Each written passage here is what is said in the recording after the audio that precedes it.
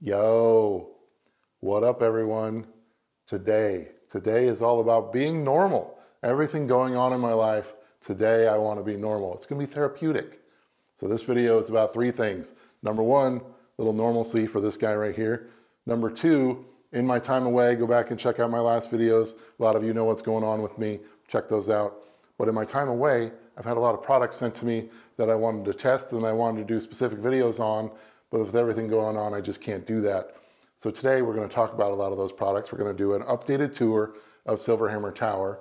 And in the course of that, we're going to not only talk about those products sent to me, but we're also going to talk about all the things that I've updated since that last video a couple months ago, because in this short time, even with everything going on, I've added a lot. So join us as we give you a little updated tour. Let's get started.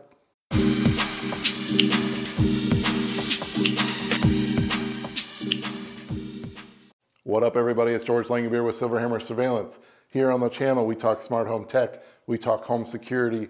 Here lately, if you've been watching, you know I've had to talk a little bit more about the man behind Silverhammer Surveillance, what's going on with me. I was diagnosed with cancer. It sucks. I felt like I've had to give some updates, but today is all about being normal. Normally, we have videos every Tuesday. You got to bear with me in the time upcoming because I don't know if I'm to be able to stick with that, but I'm to try.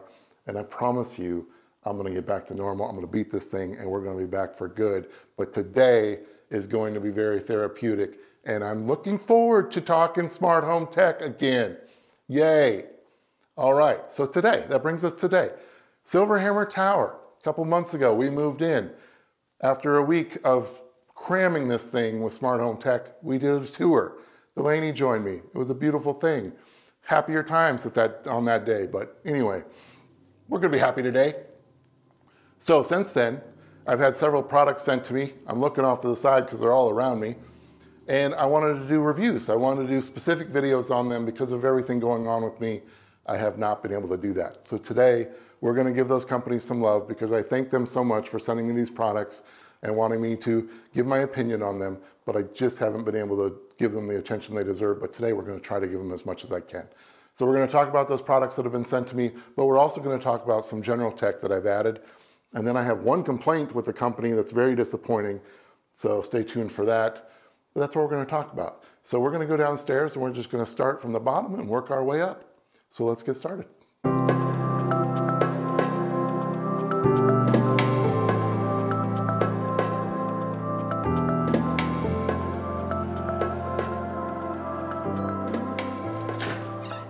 Well, hello.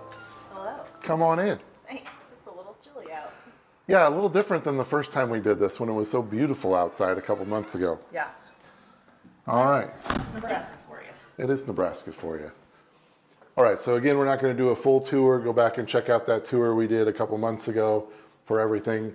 But uh, we are going to talk about our additions, and our first addition is the Schlage Encode Plus door lock with home key. Now, we had the level lock in here before. I really love this thing. I wanted one since the moment it came out. I actually ordered one on the day it came out. I couldn't use it at our apartment we were in at the time, and I was pissed. But now we're in this place and I can use it, which is a beautiful thing. So home key is the key feature here, so it works flawlessly with your watch, works flawlessly with your phone. You just walk up to it and tap it, and you're in. I've had zero issues with this. We had the level lock. I used the August lock in my last apartment, and I love them both, but you know, occasionally you get the offline. You have to re-add it. I've had zero issues with this. We haven't had it long enough to worry about the batteries yet, but I haven't had a battery issue. It's been 100% flawless when we've tried to use it with our watch and our phone. And then of course the normal Siri functions just like any other HomeKit lock. Again, everything we're talking about today is Apple Home. Um, but I was really excited to get this and try it finally, and I'm loving it. Now, the new Level Lock just came out with Home Key, and I thought about getting it and doing a review but if you saw our hardware out there, this matches so perfectly. I just think I'm going to leave it alone. I mean, home key is home key, so sorry, level. Maybe in the future I will, but anyway, I love that lock. All right, so the Nanoleaf uh, shapes. Now I just ordered some more of these because it's bothered me that I haven't had enough of these, in my opinion. So they were out of stock forever. They're back in stock. Unfortunately, they didn't make it for this video. This is the Nanoleaf shapes, and when this is um, when the lights are off, this is matte black. This is the matte black edition which was a special for Nanoleaf's anniversary. I love these, and I'm excited to get six more going in here. What's cool is it helps our pizza delivery people find us. Yeah, we- we can talk about our glowing door.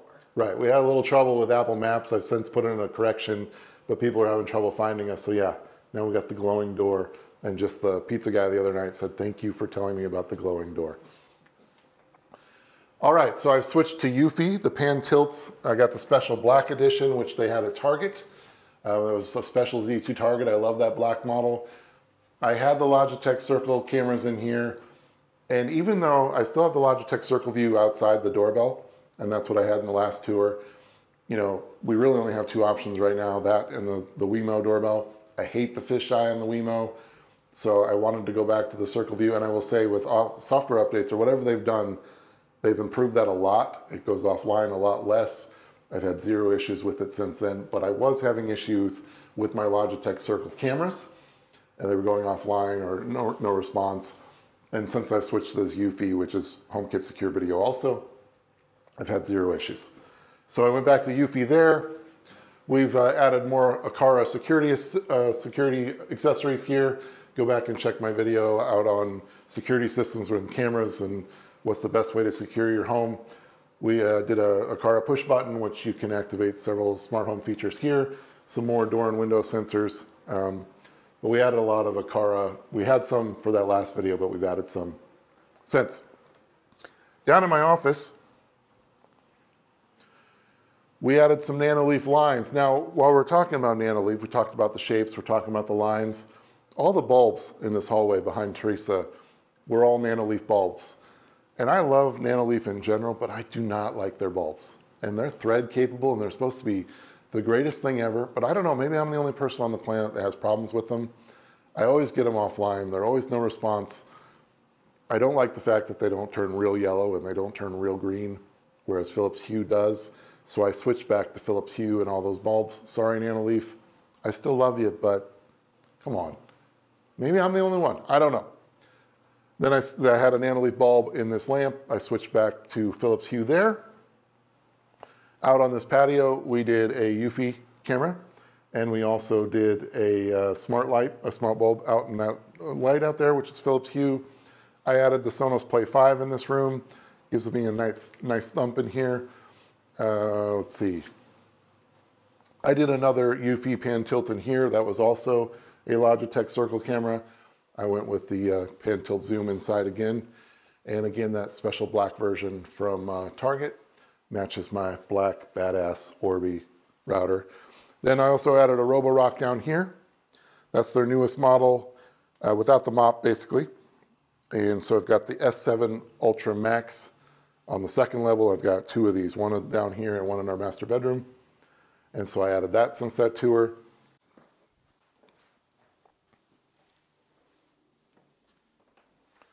All right, so we have got the Eve Smart Switch. So in this condo, I have had Lutron, I have had Brilliant, which we're going to talk about Brilliant in a minute, and then I switched from a Lutron switch to the Eve Smart Switch. Now the Eve Smart Switch is Apple Home compatible. Eve is just famous for being working with Apple Home, which is a fantastic thing. This is a thread enabled switch, which is great. So your thread network basically works as like a mesh network. You know, Wi-Fi, the more devices you add, you know, your, your device gets, your network gets crowded. Thread is actually the opposite. The more devices you have, they help each other out. So it's great that this is thread, great that it's Apple Home. This is a one-way switch or a three-way switch. So I've got three switches controlling that spotlight in there. And so that's great that you can use it as a three-way switch. You do have to have a neutral wire, but the fact that this is a three-way switch, which is cool, with those other two switches, I don't have to have three of these. I can just have one and makes the whole system smart. And I don't need those switches anymore because everything can be used with Siri or Apple Home or whatever it is. So that's great. Now, the only one complaint is that it's not a dimmer. Now, in my case, I don't care about that, but it's just on and off. And it doesn't really have a button. It's just kind of a touch screen. It's very responsive.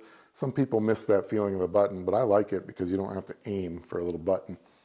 Um, it has that green light when it's on, and it doesn't matter if you used any of these switches. If that light came on, your, your light would turn green. Now, those bulbs, I didn't go smart. A lot of, a lot of this is Philips Hue in here. Um, a lot of people swear by smart switches. I, I kind of mix and match. Um, but I did that because Philips Hue doesn't make a good bulb for that, that light. Um, so I wanted to control that in a smart way. And uh, so it's $49.95. There's cheaper switches out there, but I feel that this is very well made. Eve is so reputable, I think it's worth it. And that thread capability and the way Eve does thread is top notch. Um, so I love that. Um, but yeah, $49.95, not a horrible price. You know, if you had to do it all throughout your home, that might that might add up. But anyway, the only other thing I wanted to mention is I did replace it with a, a Lutron switch with that switch. You can see the difference. This is Eve. This is Lutron. So number one, you're, you're missing that button and that click, but you do get a little click with this. I don't know if you can hear that on camera, but so one thing I wanted to mention, since this was a three-way switch for me, this gang box in here is very crowded. And so there's a lot of wires back there. And if you look, now a normal light switch is even thinner than this, but the Eve is just a little thicker.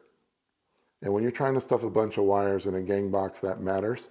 Now I made it work and really, if that's my only complaint, that's that's a good thing because, like I said, I made it work, and that's pretty crowded. And so if I can make that work, anybody can make it work. But yeah, so that's it. Eve did send this to me. I want to thank you for that. I want to do a dedicated video for Eve, but I can't because everything going on in my life. So I apologize. But definitely one that I wanted to call out in this video. But I really do like it. I've had zero issues with no response. Um, it's been great, but that's the same with every Eve product I've tried. So again, thank you, Eve, for sending this to me. Okay, let's move on and go up to the next level. Okay, so here we are on our second floor. Now I have a motion switch and some hue switches on our stairway. Go back and check out that last tour, like I said, but we're just gonna jump right in to Brilliant. Now I had some Brilliant switches installed in that last tour, and then I decided to go all out again, and this whole level is Brilliant. And if you don't know, Brilliant is a smart switch that is Apple Home compatible. These are your switches. You got this touch screen, control your lights, Sonos music, you have an intercom, you can control your thermostat. There are a ton of different products that work with Brilliant. Each of these have a camera that you can turn on and off, you can slide. Brilliant is such a cool concept. So I added one here, I've got one in the studio, I've got one over there, I've got one in our kitchen. So I did a video on Brilliant. It's one of the first videos I did on the channel when I went smart home on the channel. And I had them in my old apartment. And so go back and check out that video. And I was freaking in love with them. I love the fact that you can control your Sonos. You know, it's got a great interface for Sonos. Um, you got all your music selections here. In that apartment, Brilliant was flawless. And in, in that video, I, I went on and on about them and raved about them. But I don't know what's happened but brilliant, you've gone downhill. I don't know if it's new engineers or what it is. Once you get it set up, it's fine for the most part as far as brilliant controls go, but their new setup process is a real pain. So when you go to set one of these up, you use the Brilliant app, you go through the setup process, and then it kind of forces you to get the newest software update where you used to be able to do that manually and sometimes that software update is confusing because sometimes it takes an hour or so. So you sit there and wait and you think something's wrong and then it finally updates and then you can finally go through and add your Brilliant. But man, adding a Brilliant switch used to be like a 15 minute process. Now it can be like an, an hour. I mean, I don't know what they've done, but they went backwards. Maybe there's a rhyme or reason to it. I don't know, but I don't like it. Now, once it's set up, everything about Brilliant works perfectly. But on, uh, let's see, I've got one, two, three, four, five. I've got, and one down in the garage, I actually added a, I took out the switch I had in our garage and put in a Brilliant. I've got six of these. And of two of, two of them, I could not add it to Apple Home. And that's one of their claim to fame. They're, you know, one of the first on board with Apple HomeKit. And so there's one in this bathroom right here, and then the one in my studio. For the life of me, I cannot get added, added to Apple Home. I've called Brilliant Tech Support. They actually have a service in here where you can actually open it up to where let Brilliant work on your switches remotely. It's a toggle, you can turn it off for privacy. I actually had them do that, and they just told me to set it up again, which is where I'm at right now. I just did that. I haven't had a chance to call them back, but I still can't get them added, and it's very frustrating because obviously this is all HomeKit, and I want it in Apple Home. So you know, there's, for the most part, these are working great, but it just shouldn't take that long to set up. And it used to not be that way. Brilliant. So what'd you do? And then the Apple Home, once again, that was also very easy back in the day. So they've just taken those two steps backwards. But once you get it set up, you know, I love the wallpapers. It works flawlessly. As far as Brilliant goes, I just, for two of them, I can't use Apple Home. Uh, the Sonos capability works great. The thermostat capability works great. I also bought these black skins, which since there's a matte black um, theme in this condo, I love that. I love the way they look. But man, $450, $500 for these, and I've got six of them. I spent a lot of money on these to not be able to have them work the way they're supposed to. So, man, brilliant. I used to love you, but I'm sorry, but you got to get your act together. Sorry. All right. So anyway, that was a previous, uh, that was in the previous tour, but I have added two since then, and unfortunately, that didn't go so well. All right, so let's see what else we got. I think pretty much everything else in here we had before. I moved my home. Oh, we did add a TV with the Sonos Ray. Sonos Ray is an AirPlay 2 speaker, so you can use the Sonos with Siri. Um, and then I did add this Pico remote. So the person sitting here can control Sonos, and then the person sitting in that chair can control Sonos with the Brilliant. Because again, once you do have them set up, they work flawlessly with Sonos. Um, and everything in here works great with Apple Home. It's just these two over here for some reason. All right, so then I did add another Aqara Smart button since that last tour. Coming into the studio. By the way, I want to point out, we got the Grid, Grid Studio art. We had an old iPod sitting around and Teresa decided to take her stab at the Grid Studio art. So thank you, Teresa, for that special little present. That was nice. Um, all right, so in here, we switched to the Eve camera. Um, I believe I had the Ecobee camera in here before. So again, shout out to Eve. I love Eve, um, especially with their cameras as far as privacy goes. We added the Sonos Sub. I have a Sonos Beam behind us. We've got the surround. Before I had two uh, Sonos 5s in here but I switched to that. Um, so we got surround sound in this room now. Um, another little product I want to talk about. This is another one sent to me, and I can't really install it here because I don't have the, the good spot for it. EVVR, ever. So this is a relay switch that you put behind your light switch. So I'm going to show a little video here of our one apartment, um, our last apartment, when I did the smart home tour. I was actually asking suggestions because I had a single switch right next to an outlet, and it's very hard to do a um, smart switch that way. So I was asking for suggestions. This is a great way to fix any switch that you have existing where you want to keep the outer switch. So maybe it's the aesthetics of it, you just really like your switch, maybe they all match throughout your house, whatever it is, but if you put this smart relay behind it, and it, it works flawlessly. Now I can't test this here because I don't have a switch to put it behind, but it, it, it's a great concept and I love the fact that it's HomeKit compatible. So this is a way to make any switch compatible and you don't have to switch your outer hardware. You just put this behind your switch. Now it's a little bulky and there's another little component to it. So you gotta have some room in your gang box to make it happen, but it's a great concept and I wanna thank them for sending this to me. Again, I wish I could do a dedicated video, but everything going on, I just, I just can't. But awesome concept, especially if you like the aesthetics of your switches, especially on new houses when your builder is just putting on all these cool switches and you just don't want to change it. You can go in here and put that relay behind there and make any of them smart. So very cool. All right, so then over here, it's another product that was sent to me. And I want to thank, thank AirVersa. Is the air purifier. And um, the air, uh, AirVersa Purelle air purifier. This is a great air purifier. We've had it in here for a couple weeks. Want to do a dedicated video on it again, but I, I just can't. Um, so I'm going to look at some notes here because there's a few things that I wanted to make sure that I covered for AirVersa um, because I really do like it and I want to thank them for sending it to me. So it's $170 on Amazon. It's the first air purifier with thread. So again, we're talking about thread and the thread network. So it's the first air purifier that offered thread capability, which is fantastic. Let's see what else we got here. Um, covers about a 300 square foot room, so it's perfect for this room. Built-in air quality sensor, um, HEPA filter, which is, takes out 99.97 of the airborne contaminants in a room. It has a very cool touch display. So you got the power button, you've got auto mode, you can set a timer, you got a sleep mode. Uh, this LED ring will change colors when the air when the air is bad quality. It'll change red, and I found in my testing that it changes very quickly. Um, so that's pretty awesome.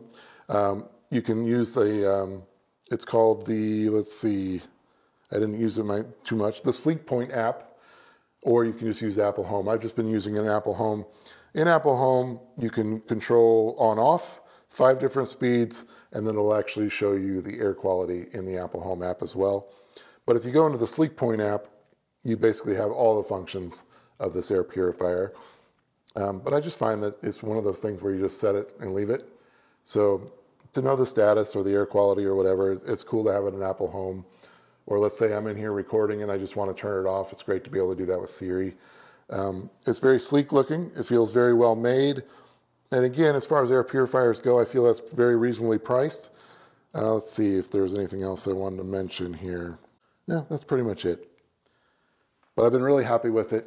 Um, and there's just not much to it. You just set it and go. But air purification is very important and it's a very popular thing. Um, so thanks AirVersa for sending that to me. Sorry, Siri, I didn't ask you to do anything with Bluetooth, but that's okay. Uh, let's see. I think that's it for new additions in the studio. So let's go upstairs. Okay, before we go upstairs, and this is actually kind of related to upstairs on our rooftop deck. Now it's really cold here in Nebraska today, but I had started making a video for this situation, but we've got some projectors here and we used it for an outdoor projector. So when I say upstairs, it's because we I wanted an outdoor projector for movie night on our rooftop.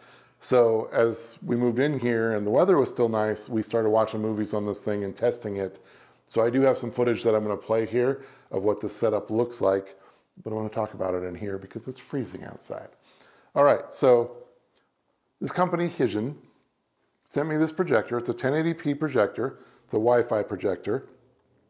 And I just wanted a nice way to set up a screen and watch movies on that rooftop. So I was looking for something, and originally I found this Xgimi, which is a very popular projector brand, 1080p, um, and it uses Android TV. It has a fantastic interface, and um, it's a little more robust, but I will tell you that this right here is $650. So when, when Hision asked me if I'd try their projector, and we were just happened to be moving in here when they did it, and I had just bought this, I was sure, sure, why not? So I thought I'd compare the two. This is only $169.99. And then we bought a screen, which is $99.99 at Lowe's. And um, so you'd need a screen for this too. Now, I'm not a big fan of indoor projectors. So I specifically bought this to go outdoors. So this is not going to be an indoor projector type of situation here. I'm going to talk about it as an outdoor projector, which I think a lot of people could set up in their backyard. So anyway, not, i just don't like indoor projectors. I think you got to have the right room, the right lighting all the time. You buy a 4K projector and then you can't see it half the time. I'm just not a fan. All right, so I bought this little guy. Now, I decided that whether I use this one or this one, I was going to use it with an Apple TV because I'm Apple Home. This has Android TV. I've used Android TV in the past. You know, I, I sell a lot of Google products with Silverhammer. I've used Chromecast. I sell Chromecast to our customers. I'm very familiar with Android TV. So for $650, this has a much better interface. But if you hook up an Apple TV up to this little guy for so much less, you're going to have your Apple TV interface and it's not going to matter what happens with this. Because if you look at this, you look at some of my footage here, this interface is pretty cheap looking. I mean, you get what you pay for. It's perfectly fine. I had a little trouble getting it hooked up to Wi-Fi, but once I did, it was it worked great. You've got some buttons on here for your menu. It does come with this little remote. So all of that was fine. So basically you just need to get it hooked up to Wi-Fi. And then once you get it to that point, it's basically just hook up the Apple TV and switch that interface. So Teresa and I watched some movies. We used Apple TV to do it. You know, it's only 1080p, but on our rooftop, I didn't care. I don't need 4K up there. So this was a really great solution. And, you know, I'm going to try this one more this next year and see if I really get that much more out of it. This one's still 1080p. The image quality is going to be the same, but I just wasn't interested in the Android TV anyway. So this fixes that. And right now, the new Apple TV is 130 bucks. So if you add that and this together, you're still way under this price. So I'm sorry, Hision, I'm not too impressed with the interface and I'm not too impressed with your remote. But as far as actually just being a box to put on a screen to add this to, it was great. And for the price and what I was using it for, it worked great for that. What do you think, Teresa? Yeah, I thought it was, uh, it was fun to watch the movie up there and have it be portable like that. Right. And so we had, you know, and then for sound, now, as, as you might have seen in some of our recent videos, we've got a train that runs by here. And so up on our rooftop, the, the train was the problem for movies. But what we did is we just got our two AirPods Max. We used the share audio. We put those in noise canceling mode. We watched movies up there. We actually watched some TV shows up there. We didn't hear the trains at all. So you add some Apple products to this little guy and it becomes a really cool portable. That's the other thing about this is very portable.